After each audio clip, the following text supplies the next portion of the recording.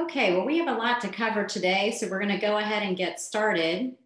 Uh, good afternoon. Welcome to MORS Talk. I'm your host, Jennifer Ferrat, MORS CEO. And today we have our guest, Ms. Colleen Keller Sterling. And I'll just tell you a little bit about her.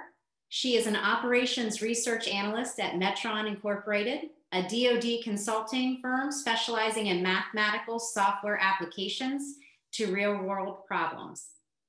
Colleen became involved in search analysis, starting with the search for missing aviator Steve Fossett in 2006. She produced probability maps to guide search efforts for the Fossett family and friends. And Colleen was subsequently part of the Metron team that performed probability mapping for the French government in the 2009 search for Air France 447. She was a Metron spokesperson for the MH370 searches in 2014, and she led the development and fielding of Metron's search and rescue smartphone development uh, smartphone app, SAR which supports documentation and real-time situation awareness of field search operations, and is a founding member of the all-volunteer missing aircraft search teams, which tackles cold cases of missing aircraft. She is a 3,500 hour instrument and commercial rated private pilot, an FAA certified A&P IA mechanic, and a civilian volunteer to the San Diego Sheriff's Department Aero Unit. Colleen holds a BA in physics from Dartmouth College and an MS degree in applied physics from the Johns Hopkins University Whiting School of Engineering. She joined Metron in 1995 after an eight year career at the Center for Naval Analysis. Welcome, Colleen. Thank you. Just want to say also, um, so appreciative to Jack Keene, uh, one of our MORS Fellows, for introducing us to you and, and uh, encouraging us to have you on MORS Talk. We're excited. Uh, I'm excited about today's conversation, and we really appreciate the fact that you're willing to talk to us today. So, thank you. Just want to, um, before we dive in, just remind everyone that if you do have questions to make sure you put them in the Q&A box instead of the chat box, and we will try and answer them as we go along. Now, we do have a lot to cover today, and we have a lot of questions, but um, I know Colleen has been more than uh, willing, it sounds like, to answer any questions after. So make sure you put them in there and we'll get answers for you and post them on the website along with uh, the recording. So uh, why don't we start off with um, Colleen? I believe that some folks um, from our audience know you or have crossed paths with you at some point. And but I guess for those of you, or for those that don't or haven't had that opportunity, do you mind giving us a little bit more information about your background and how you became to be an analyst and work on searching uh, for missing aircraft? Sure. So uh, I graduated with a degree in physics and really had no plan for how to use that degree, unfortunately. I wish I'd been more guided. Um, but luckily, I fell into the job at CNA and discovered a, a, true passion for working with the Navy and more specifically doing field work for the Navy. I just loved working with the operating forces at sea or embedding. Um, and um, was very fortunate to be sent to field positions with CNA to work at Navy commands. Um, when I came to Metron, I, I, again tried to work as much as I could out in the field, but it wasn't until maybe 10 or 15 years at Metron that I, I became very fortunate to combine my passion with aviation as a pilot with operations research um, in the search for Steve Fossett. Um, Metron had a long history of, um, of uh, doing field search um, support using Bayesian search theory. Um, my, I'm standing on the shoulders of my predecessors at Metron um, in, in um, talking about this field. but I watched the Steve Fossett search unfolding just a couple hundred miles north of where I live in an area that I was very familiar with. And I just kept telling the principals at Metron, you know, we really need to become involved because this is a very disorganized search and I think we could help. And I kept being told, no, it's too messy. You don't want to do that. And eventually I did uh, get a, a, foot in the door with the officials that had the data um, and did that search. And it, and it, while we didn't find Fossett, Fossett was found by accident by a hiker. Um, it, it, opened a huge um, uh, door of opportunities for follow-on searches uh, and and gave you know and and and and since then I've have had the fortune to do something that I am very passionate about, which is work on these searches, um, which which is always a gift in your career, right? If you can work on something you're very passionate about. Absolutely, I agree. I mean that that is that's a wonderful thing to be passionate about something and it's it's your work. So that's great. Yeah. So um, we're, our conversation is really going to focus today on Bayesian searches. But for individuals like myself, and I don't know if any others out there, can you please first explain to us what is meant by a Bayesian search? Yeah, um, Bayesian statistics applied to search theory is, um, is, is actually a very common sense approach. Um, the way it works is uh, you form what's called a prior distribution of where you think the target is. You grid up your search area, and then you come up with hypotheses for what, what happened to your target and where it might be located. And you weight each of those hypotheses. And you combine them all, and it gives you a, a probability map, a, a, starting point for where you think the target is. Um, you quantify errors, um, and, and those help you form your probability distribution. Um, that's called the prior distribution. And then you allocate search effort. You have certain number of sorties or you know um, uh, sonar passes or something like that. You allocate your search effort to the highest probability cells, um, and then you go out and search and you estimate your search effectiveness, which is often one of the most difficult things to do. Again, you're quantifying uncertainty there. After that first phase of search, you come back, you update the map with the negative search results. If you didn't find it, if you did, then you call it quits and go have a beer. Um, and then with the updated map, you um, plan your next uh, iteration of searching. So it's a very iterative process. Um, and the map is a common thread through that process that keeps you on track uh, and tells you where you should be looking next. And literally, you just keep going until you're out of um, probability. If the target is, if you haven't found the target at the end of all that searching, you need to go back and look at your initial assumptions or think that maybe the target is outside your search area entirely. Okay. Okay, that's interesting. Okay, so the crash landing of Air France Flight 447. I know that I'm sure many of the individuals are aware of this event and recall it, but can you refresh our memories a little bit and walk us through the circumstances of that flight? Yeah, it was uh, really shocking. This was a commercial flight, uh, Air France, Air France flagged Airbus 320. Uh, oh, it was, an Airbus. I don't think it was a 320. I think it was a 319. I don't remember. It, it's now been about 15 years. Um, on a flight from Rio de Janeiro to uh, Paris, France, overnight flight, passing the equator, crossing the Atlantic, and they ran into bad weather in an area um, called the Intertropical Convergence Zone, which is right around the equator where you typically have a lot of thunderstorms in the summer. Uh, they had a handoff from Brazil to the controllers in Africa um, just past midnight. Um, no communications in this area. So literally they just did dead reckon the track and they expect to pick them up in half an hour when they come back within comms range and they never called up. So uh, they eventually figured out that the airplane crashed. Um, they had really no information other than there was a last handshake with the um, the aircraft has a communication system that's kind of used for more maintenance and logistics. It's mm-hmm. called ACARS. It stands for Aircraft Communication Addressing and Reporting System, and it it basically sends like um, uh, wellness checks back to the maintenance people in a periodic fashion.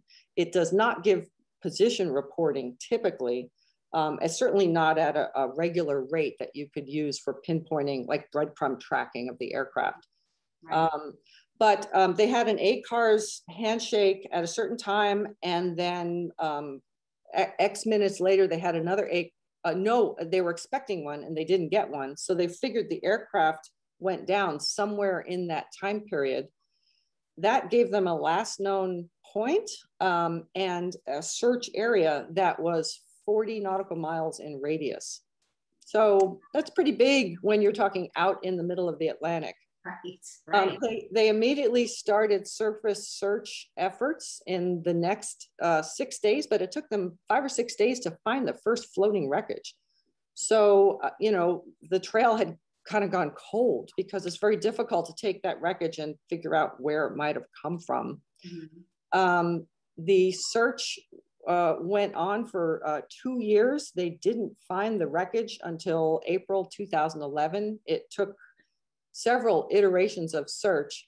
Um, but Metron was brought on and after the first 30 days when they realized they weren't going to find it immediately and they needed help to organize the search. And we did a couple iterations of the probability map. Um, and in the final iteration, they found it right in the highest probability area. It was a it was pretty exhilarating to actually be associated with a find like that. I bet. That's amazing. Yeah, yeah, it was really an unfortunate accident. Um, you know, there were like a hundred plus people missing on this plane, and one of the major things was people's uh, faith in commercial air travel was shaken by this. They needed to know what happened. Um, people were really concerned, and it, it did turn out that there were a lot of findings as a result of the data that they collected from the flight data recorder and cockpit voice recorder that changed um, uh, procedures for training and instrumentation for commercial aircraft going forward. So it was a pretty monumental um, aviation accident. Yeah. Wow. It is. It is very sad that you know those individuals lost their lives, but it's pretty amazing that, and and I'm sure, like you said, very exciting to be part of that find. Yeah, actually, what happened is the pilots stalled the aircraft when they lost um, primary instrumentation in the cockpit due to water getting in the pitot tubes. The computer had erroneous, uh, conflicting information, and it literally shut down. And they were hand flying in the dark, in I mean, you know, in the clouds at night, um, based on instrumentation, like we call it steam gauges in pilot speak, you know, not glass panels, but just round gauges giving altitude and airspeed and stuff like that. And as a primary, you know, uh, civilian pilot, we're taught to fly on reduced instrumentation when you lose, uh, you know, some of your inputs. And they didn't do that they they literally were so you know um, used to flying on glass and flying on speed tapes and the, the fancy instrumentation that when it came down to hand flying the airplane they blew it. And i mean the fact is they were up at very high altitude so there's kind of a, a wedge that you can fly in. It's called the coffin corner. If you fly too fast then you you get mock um, Mach uh, what's it called? Um, um, you, you get between these two air speeds. If you fly too slow, you can stall easily. And if you get too, if you get too fast, you get into Mach buffet, which is also kind of a stall. So you, you have to fly very precisely, but they did some really basic things wrong. And so the training has changed now, now that we know what went wrong. Um, simulator training is they practice this kind of thing in the simulators. Well, that's reassuring that, that, they're Yes. doing It's safe to fly. so you know we you've given us a glimpse of you know your background and um, you know uh, what the circumstances around this flight but can you pinpoint um, what sets you and metron apart that made you all the clear choice for the french government on this search what triggered that Sure. Yeah. Well, we actually were recommended, highly recommended by a colleague in South Africa named Johan Strumpfer, who was familiar with Metron's history of conducting searches like this. So um, we, we owe a debt of gratitude to our colleague. Um, but Metron actually has a long history of doing this. It goes back to uh, prior to Metron, actually, the people that founded Metron um, Henry Richardson, Larry Stone, Tom Corwin, um, they worked on searches that were actually pretty famous in the history books now, applying Bayesian theory for some of the first times, um, building on you know Koopman's search theory from World War II. Um, Henry Richardson um, was a young Wagner Associates um, mathematician and uh, got sent to, let me see if I can say this right. It's Spain, Palomares, Spain, where the uh, Air Force lost an H bomb in the collision of a B 52 and a refueling tanker off the southeast coast of Spain. The aircraft was part of Operation Chrome Dome, which was continually flying H bombs. And uh, the airplane went down in a big fire, and three of the H bombs went over land, but one went into the water and couldn't be found. And it was a huge political uproar, and they needed to find this H bomb or, you know, say that they'd put in enough effort. And Richardson um, said, this is perfect application of Bayesian search theory. And we need to, you know, calculate, um, actually, uh, I don't want to give all the credit to Henry because um, John Craven from the Navy's Office of Special Projects was the lead on this. And he recognized that he needed mathematicians to use the Bayesian search theory. So Craven was the, the mastermind behind this, but Richardson was the guy with the calculator that was doing all the you know field work in calculating the probabilities and gridding the area. And together they put together these you know hypotheses of what might have happened. Did the bomb go down with the wreckage? Did it float in a parachute? Did the parachute get dragged underwater by currents? And they laid out a prior distribution probability map and then they Unfortunately, they were unable to, in real time, calculate and update the map because they didn't have computers in 1966. So, but the best thing that the biggest, one of the biggest innovations that came out of that search was estimation of search um, effectiveness. Uh, that was a big deal to, in real time, be estimating how well you were searching. And um, Richardson observed that uh, chronically, um, searchers overestimate their ability to search. And it's funny, I saw that in the Fossett search. The Civil Air Patrol would come back from sorties and say, oh, we covered the area 100%. It's not there, you know, and that is just not true. And that's a real problem. So as analysts, we have to kind of bring people back to reality and try to give them a, a reality check and and um, give them, uh, you know, a more realistic search effectiveness. So Richardson did the um, H-bomb search, and then two years later, the Scorpion went missing. This was a submarine that the Navy, uh, carrying, of course, nuclear torpedoes, mm-hmm. was supposed to be coming back to Virginia from the Med, never made it back, and the Navy now had a, you know, 2,000, 3,000 mile wide area that they had to figure out where the submarine was and was it shot by you know a russian submarine? This is during the cold war. Again lots of politics. And um, henry richardson and craven were joined by larry stone um, another new analyst out of wagner associates that um, you know went to sea. They generated a probability map.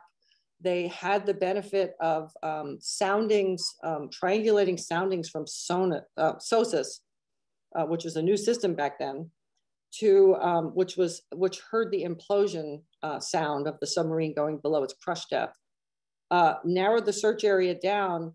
But in this search, they were able to, in real time, day by day, update the um, probability grid with the negative information of negative, you know, unsuccessful searches.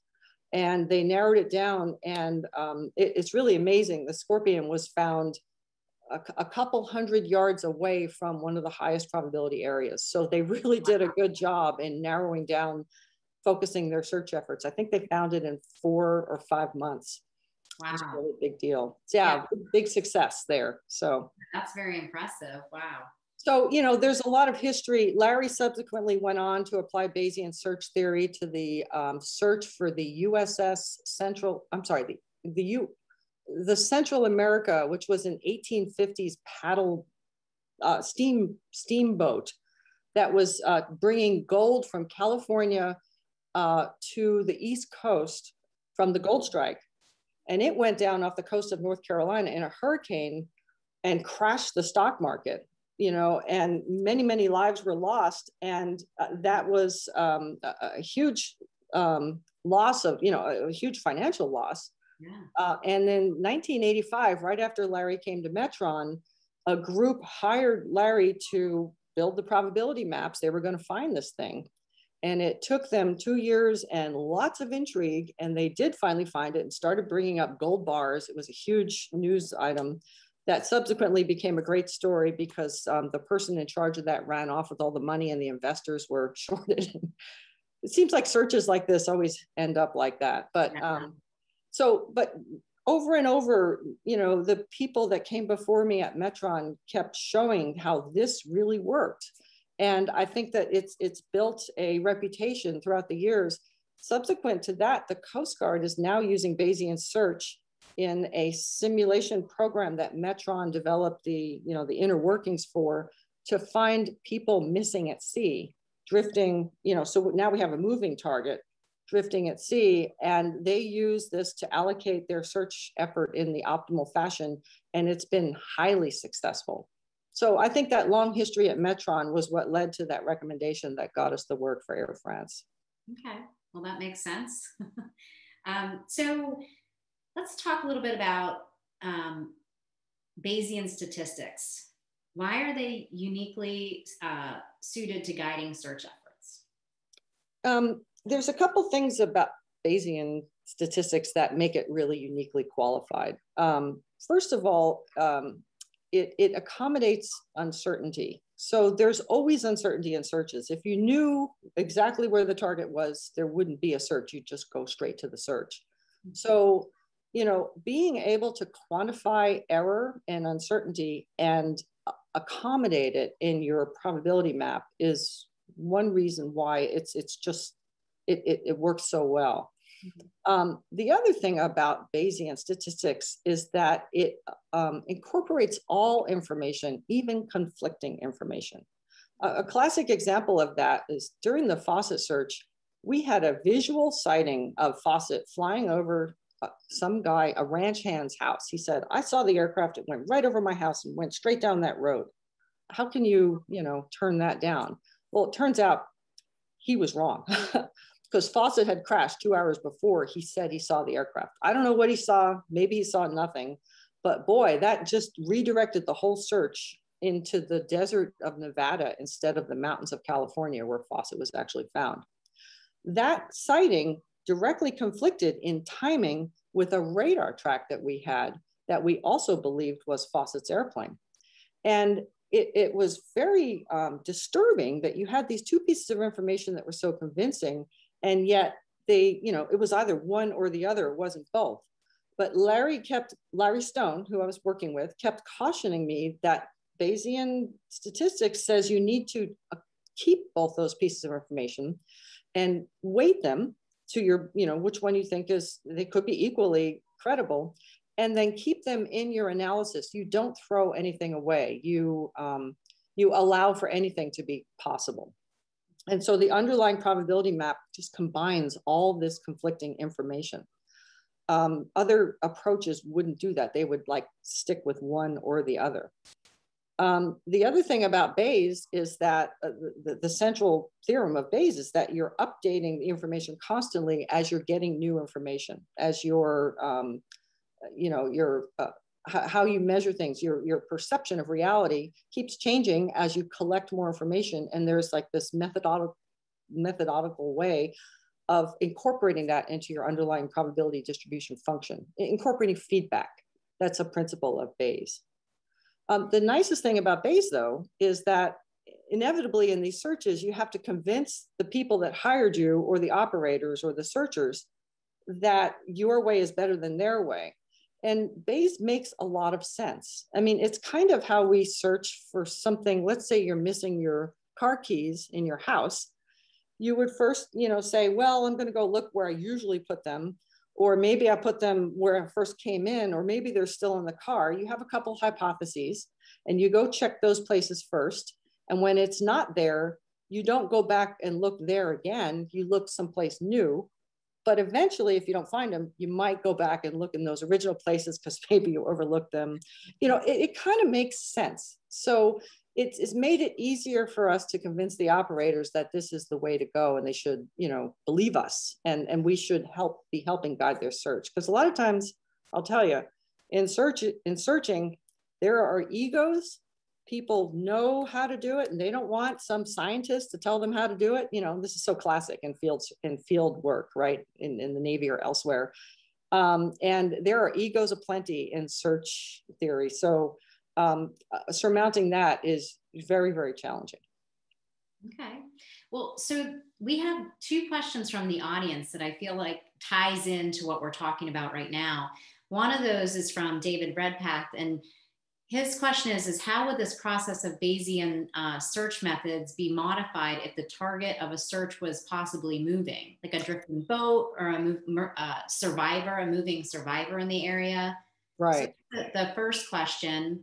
Um, and then uh, I'll let you go ahead and answer that, and then I'll ask you the, the next one. So the Coast Guard has perfected that um, the Coast Guard is typically searching for somebody uh, in a boat that's drifting, you know, not under power or uh, somebody who's fallen overboard, right? There have been a, a, lot of very fascinating searches that the Coast Guard did uh, for people that got swept off a ship, a fishing boat, or fell off a cruise ship, and they found them three days later. And the way that you do it is you you uh, you let the underlying target move instead of being stationary. Stationary is actually pretty easy. Once the target sticks or you know sticks to the ground, basically, uh, it's not going anywhere. So your your probability map is static.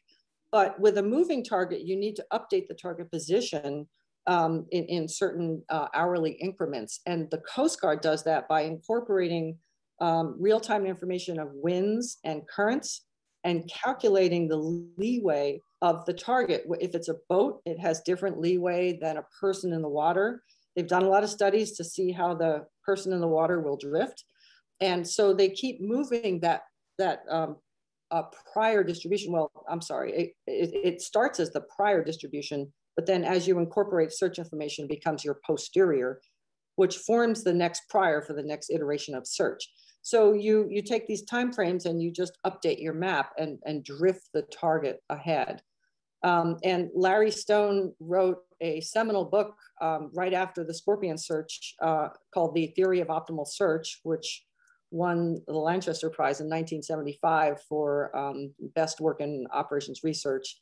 And he more recently wrote um, a follow on book about um, searching for moving targets, in which he talks about all the underlying math. But the principle is to just keep updating that prior and let that target move with um, currents or winds or whatever. Okay. Okay. Interesting. So the next question um, is also about Bayesian search, and uh, Bob uh, Henson has a question about it took uh, 13 months to accidentally find Steve Fossett, but did the Bayesian search get close to the actual location where he was found by the hiker? Unfortunately, it did not. And uh, and the reason is we had such a high credibility visual sighting in the desert that everybody focused on the desert. And this was a, a true lesson learned for me. And actually, after the Steve Fossett search, I, I kind of did what any analyst would do. I wrote up a lessons learned brief. This is where we went wrong. This is what we could do better. And went out on the road and tried to approach the land search community, you know, briefing at NASAR and uh, I went to MORS, which is not land search, but I, I, went to the Civil Air Patrol. And wow, I mean, some people were receptive, but some people were not receptive. I told you there's a lot of egos in this community. And, um, you know, what, what happened is they had, it's so fascinating. They had a radar track that was Steve Fossett's aircraft hmm. flying where Steve said he would be flying south along the Sierra Nevada crest at the speeds that his airplane should be flying. And they started to investigate it, um, but it was in terrain that was difficult to search. So we, they always tend to shy away. If it's hard to search, they search the easy places first, which kind of makes sense. You know, I mean, I understand that, but that's kind of denying the, um, the prior that you started with. They, they should have spent more time searching where that track ended but instead the visual sighting came in and everybody's attention just like immediately they're just like kids you know going for the bright shiny thing they they went to the desert they never went back and i think if they had been using the bayesian approach they would have had um, a more continuous thread uh, like a documentation of, oh yeah, that's right. We were going to search this area, but we got distracted. We need to go back here because there's high probability here because we had a very likely radar track there. And instead, they just weren't keeping track of how well they were doing, where the sectors were being searched. They were overestimating their search effectiveness, and they never went back and searched that area.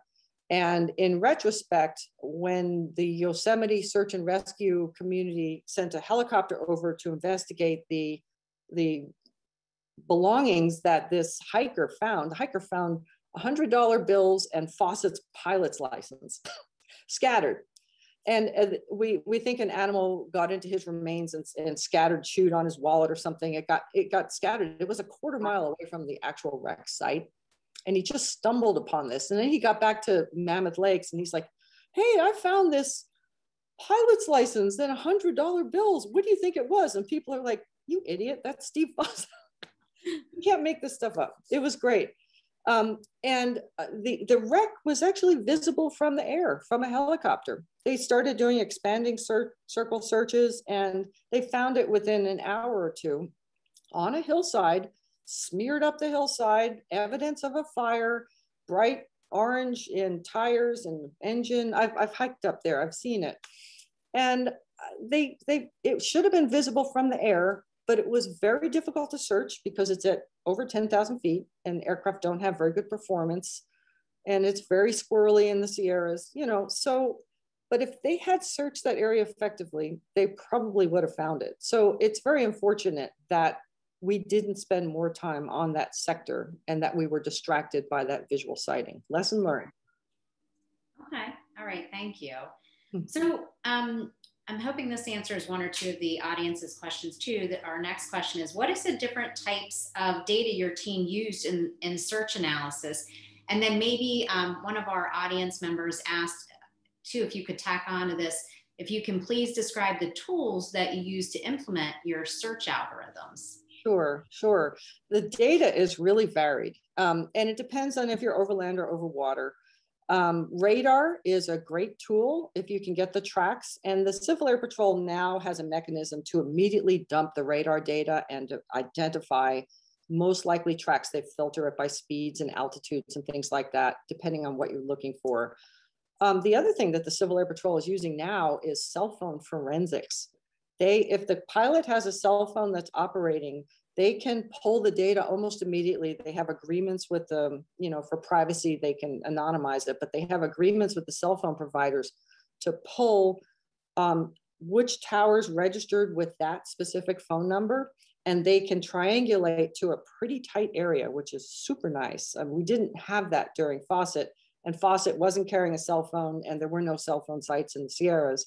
But nowadays, they can be very quick to find or to narrow down the search area. Um, aircraft carry emergency locator transmitters, which uh, emit on impact. They emit a certain frequency, like a distress signal, and you can um, use that information if it's available. But a lot of times, the ELT is damaged or destroyed in the accident, or the antenna is broken and it doesn't work. Um, for the Air France search, one of the major phases of the search was um, searching for the, the pinger sound, the underwater beacon attached to the cockpit voice recorder and the flight data recorder. Um, and that uh, they, you know, those signals last for a month before the battery dies and you can tow a pinger locator and, and it'll localize where the wreckage is. Neither MH370 nor Air France emitted a viable beacon. In both those accidents, either they were looking in the wrong place for MH370, or in the case of Air France, neither of the pingers was working. And they spent a whole month, the initial month, looking for the pinger signal for Air France and gave up and started switching to um, side scan sonar and underwater video from AUVs. Um, and uh, and they credited the problem with the Air France search was they credited the pinger locator search that they spent the whole month on with very high probability of detection. And so it blacked out those areas and said we needed to search elsewhere. And then they spent the next year searching other sectors of that 40 mile circle, when in reality, the pingers weren't ever operating and the wreckage was there the entire time and they passed right over it listening for this signal. And so one of the questions you know people have is, well, what was the breakthrough that finally led to the uh, the probability map that pinpointed the location of the Air France wreckage? The breakthrough was when we stepped back and said, wow, we've we've searched a lot here and we're not finding it. I wonder if we should generate a map with those pinger beacons not working at all, which invalidates that whole pinger search mm-hmm. and sends us back to the near the center of the uncertainty area and start all over again? Should we maybe search there? And that was what refocused the search effort back to the center of the probability uh, map. And, and they found the wreckage within a week. Wow. So, you know, sometimes you got to be really careful about the data that you're using. Was there a signal to begin with? And in that case, there wasn't. Um, uh, just briefly, other types of data. Gee, in the in the Fossett search, we we we spent a lot of time trying to quantify the effectiveness of the search effort. So we use records from the Civil Air Patrol and from the private search effort generated by the Friends of Steve Fossett, which equaled the government's search effort. It was amazing how many sorties were flown. Uh, over uh, 1,700 sorties, I'm sorry, 1,000 sorties, 1,700 flight hours were um, spent in a 30 day period over like $1.4 million the government spent looking for Steve Fossett. It was almost like an embarrassment near the end. They were like, we got to keep looking. You know, it, it well exceeded what they would normally do because they kept thinking he's got to be there somewhere. Um, so if evaluating how effective a given sortie was as it passed over an area, we used um, how high the sortie flew, how many observers were on the aircraft, the speed the aircraft flew at, uh, and the terrain it was flying over. And we actually made a computer program that calculate using the random search formula because that was the best we could do. So assuming the searchers were looking out either side and sweeping a lateral area, we used a computer that credited each sortie um, with um, a, a, coverage factor, you know, a probability of detection in the sectors that um, we searched. So we definitely used computers for the Fossett search. Um, we also looked at the whole search area and characterized the terrain um, computationally into um, vegetated, sparse, and desert so that we could, and mountainous. We actually also factored in the mountains because shadows make it difficult to see targets. You can imagine over land is very difficult to search. Uh, over water or in the water is also difficult because the acoustic you know, environment and the bottom contours make it very difficult to search as well. We use the bathymetry, we use the acoustic properties of the water to estimate sonar effectiveness. Knowing something about sonars really helps us in, in effective, you know, calculating the effectiveness. In the Air France search, we got very lucky because the wreckage was on a nice, clean, sandy, flat area. Unbelievably.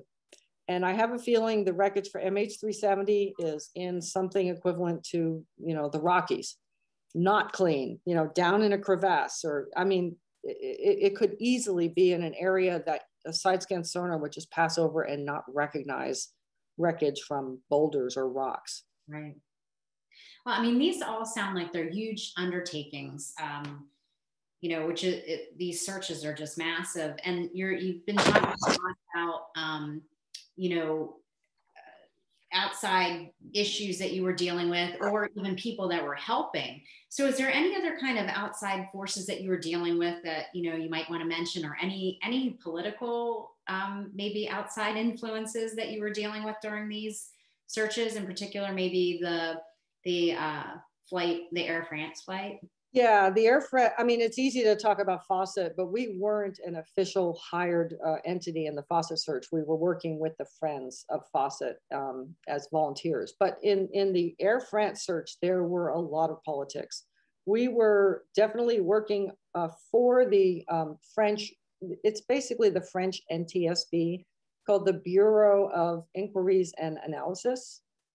I think it was, that's what it was, BEA, it was in French and um, and they they did not want um, any assumptions in the search that would tend to point to um, somebody being guilty of causing the accident. So they did not want us to make any assumptions that the aircraft stalled. because that would make the pilots look bad. Or they did not want us to say, you know, let's, one of the assumptions could be maybe one of the engines failed or there was an equipment failure because that would make Airbus look bad. You know, so we had to kind of be very generic in our assumptions. And when we put together our prior distribution, the prior, it was very interesting. It was, um, they were very fussy about what went into the prior. So it was a, basically a 30, 30, 30 split of three different things, uh, three different inputs. One was a uniform distribution of probability over the entire 40 nautical mile radius circle, which put uh, most of the probability in the center and then gradually out. So that basically was saying right after their last distress, they hit distress and uh, they had all these problems. They probably went down within minutes of that. The other thing was they wanted us to look at um, historical loss of control accidents because they suspected it was a loss of control accident in the weather with the bad inputs, which it was. Um, so they looked at uh, a, a, subset of accidents that happened where the pilots lost control in bad weather and they looked at how far away from the initiation of the loss of control did the aircraft actually crash. And we, we did a circular normal distribution based on that data. And that turned out to be quite reasonable. I think it was within eight miles of the loss of control that, that the aircraft crashed. And then finally, the most controversial was the, the last input was we picked up all this floating wreckage. And in particular, we picked up bodies or parts of bodies. And the Coast Guard knows how bodies drift. So they liked to use that because they understand the leeway of a body floating in the water. I know it sounds gruesome, but you know, uh, uh, the, the big picture on the news was the big vertical fin that was intact that was pulled out of the water. And you have no way of knowing what the wind was doing to that and how well it would drift. But a body, they knew how that drifted. So I, I got this wonderful Excel file talking about all these bodies that they picked up and when they found them and where they found them. And everybody wanted, it was so tempting to reverse drift those bodies back to where they came from, right? Given winds and currents. The problem is we don't know what the winds and currents were in this area. Now, the French had a model, the Brazilians had a model, and the US Navy had a model. And when they reverse drifted all these bodies back, all the models had completely different areas where these things came from. It was amazing. And a year later, after the accident, they dropped a pattern of buoys in the water to map the currents and the winds at the same time of the year, thinking, oh, we'll get control data. This will be good. Those buoys went in circles like a washing machine. I mean, it just, this, this was a very um, unstable area in the ocean. So in retrospect, we realized, and then where the aircraft actually crashed had nothing to do with where the current models said, you know, those the, the parts came from. It was really impressive. But at the time that we were doing this search, everybody thought, wow, this is data. We just have to use this data. You know, let's do a reverse drift analysis. So 30% of our prior was based on the Navy's reverse drift analysis. We actually championed the Navy. We felt that the Navy's model was the best and it turns out it wasn't. So we came up with this prior um, based on these, but the BEA was very forceful that we needed to use the, this kind of data and we could not make any assumptions.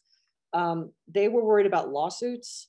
They were worried about the public scrutiny that they were doing this the right way. You know, the, the victims' families were, why can't you find this thing? You know, there was a lot of pressure on them. The press, and then, as I said, egos often come into this. You know, people want to use their data, they want to do it their way.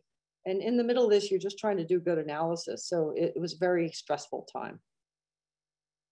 I'm sure that it was. So, I mean, I, I think you mentioned this a little while ago, but can you describe maybe a little bit more about the breakthrough moment that led to the discovery of the wreckage and, and you know, maybe expand on that a little bit? Yeah, we had generated our first probability map by the end of the summer, maybe three months after uh, the aircraft went down. And they searched on that for the, the next iteration. They, they conducted their sonar searches. And, and then this drift group um, of experts about reverse drifting these bodies, you know, they kind of got control and they dictated, hey, we need to be searching in this area or this area. And, and Metron kind of the, the Bayesian stuff kind of went out the window. You know, we we still updated the map, but they weren't using the map to search. They were searching in areas that they thought were important. Mm-hmm. Then after a year of not finding anything, um, the BEA came back to us and said, you know, we're going to go out in the spring again. It was about 18 months later. We'd like you to update the map one more time. And Larry sat down with the team and said, okay, they've done a lot of searching here and something's not right. And maybe we need to generate two maps. And actually, I can I show this slide with, um, yeah, I'm gonna take control of the screen. Maybe we should generate two maps. Oops, and I have the wrong, the wrong one. I want, oh, here we go. Um, I want slide 28 and 29. Maybe we should show two maps.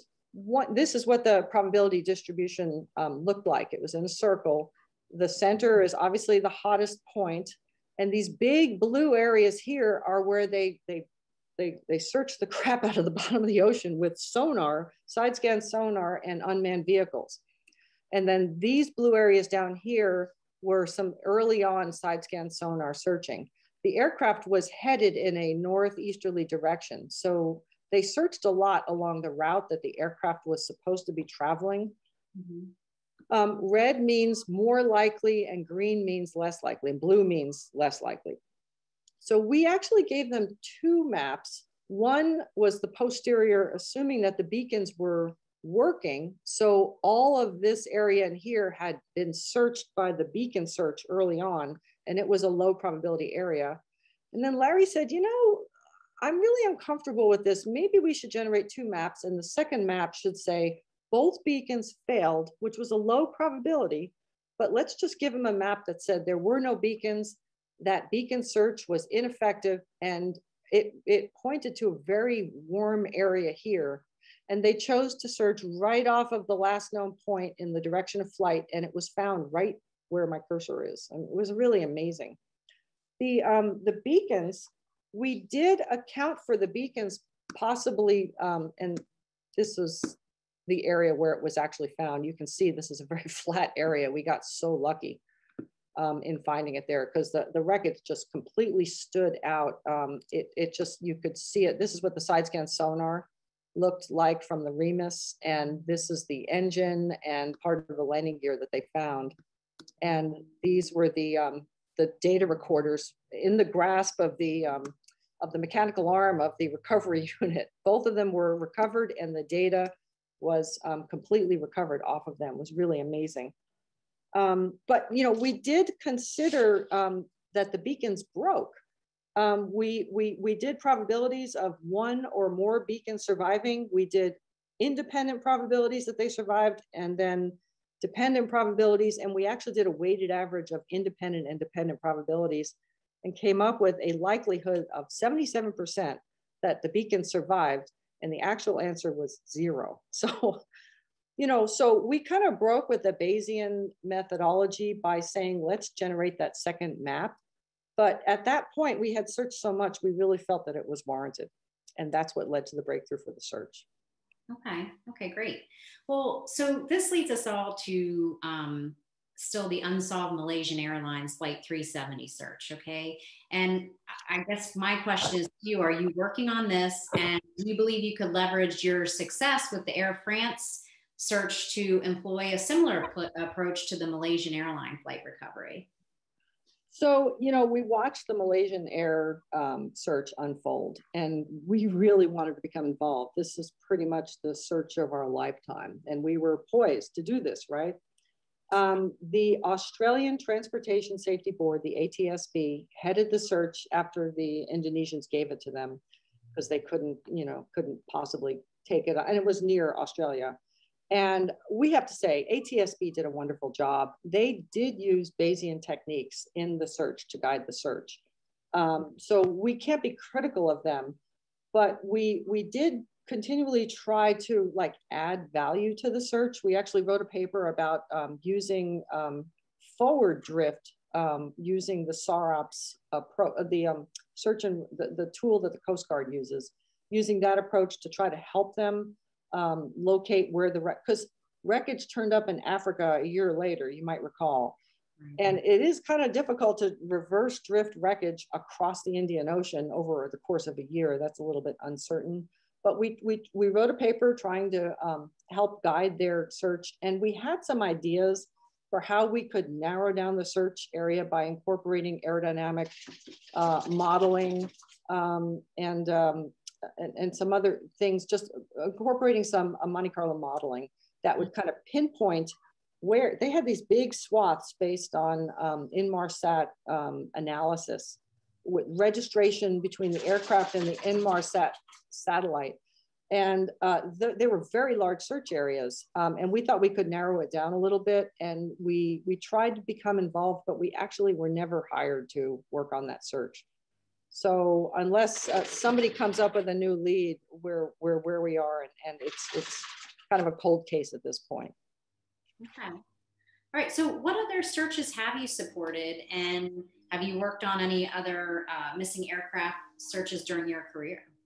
Yeah. So um, after the Fossett search, I became uh, I was a founding member of the Missing Aircraft Search Team, which is the experts from the Fossett search decided we needed to kind of keep this ball rolling because we had a lot of expertise.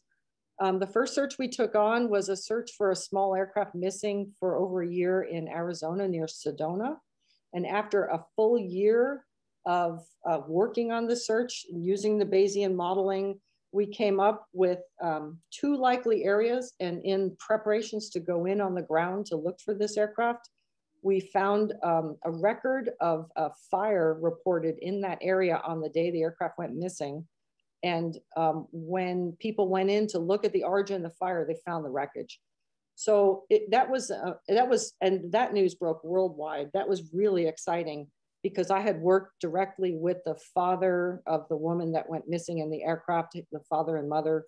Uh, they're still personal friends, and I just can't tell you. It means so much to be able to bring closure to a family, to at least find what happened, and to because you know, it's just really sad. It's tough to not know what happened for the victims. Yeah. Um, subsequent to that, we, we did another search looking for a missing P-51 flown by um, the last missing WASP of World War II that went into the ocean off of Los Angeles, we believe. Um, we were doing um, diving on areas that um, I identified based on analysis um, and, and based on bathymetry data we had in the area that showed objects on the bottom that could potentially be the P-51 that was more field work. That was a lot of fun and a lot of updating maps. We did not find the P51. It's challenging problem, 40 year old problem. Um, most recently, Larry Stone and I worked on uh, generating probability maps for the um, uh, for missing uh, TBM Avengers from World War II, missing in the Bermuda Triangle off the coast of Florida for a National Geographic special. Um, and we, we think most likely the aircraft um, all went the wrong direction and got lost at sea, but we you know, looked at all the historical data and narrowed it down. So it, it's just been a huge variety of things. I could name so many searches, but these searches keep coming and people come to us and ask us to kind of help narrow down their search using these techniques.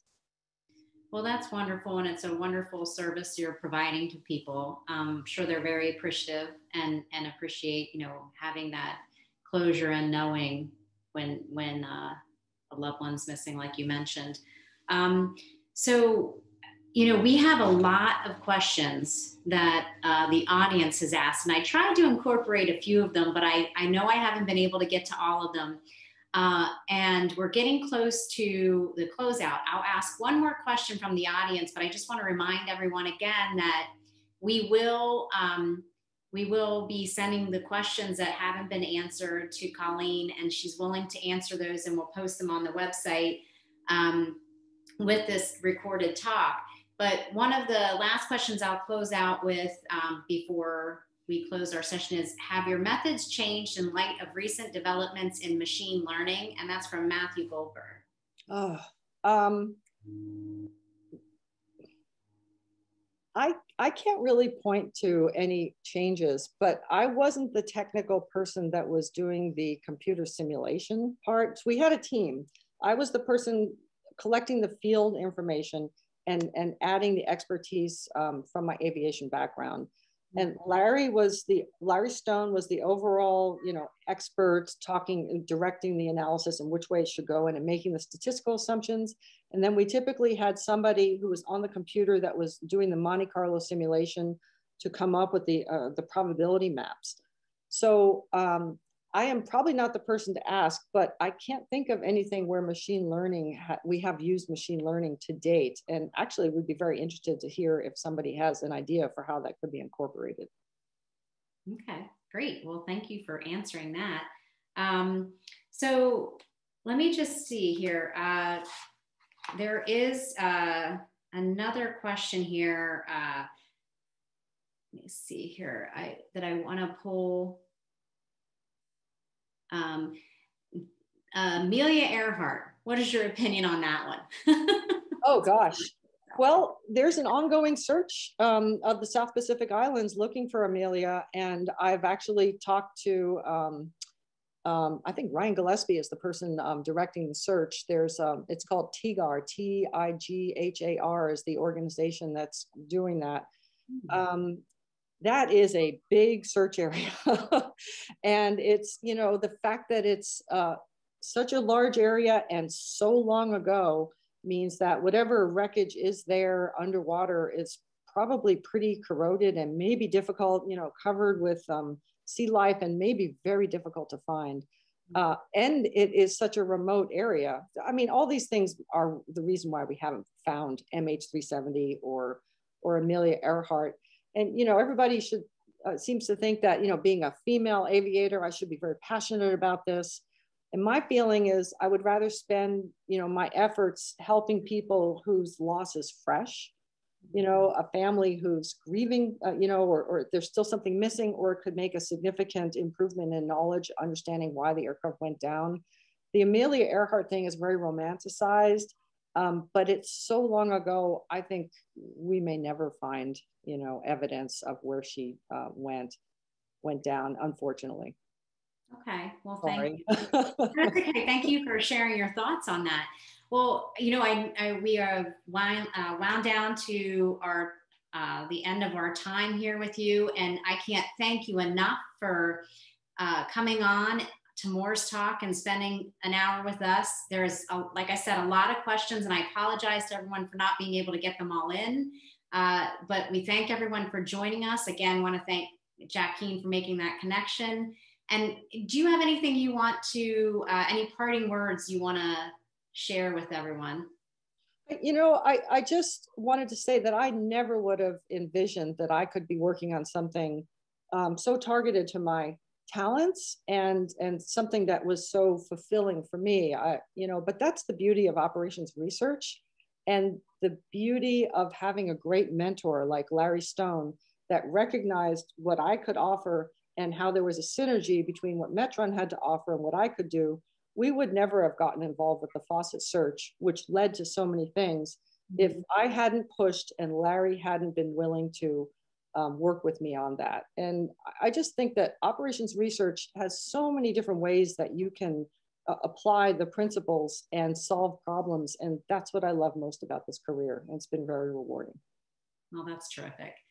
Again, thank you so much. And everyone, please join us um, again for MORS Talk. Now, I think you all, I hope you all remember that we are going to start going to every other week uh, starting this month. So our next talk isn't going to be until Friday, the 21st of May. I hope to all see you back then. Thank you and have a great weekend.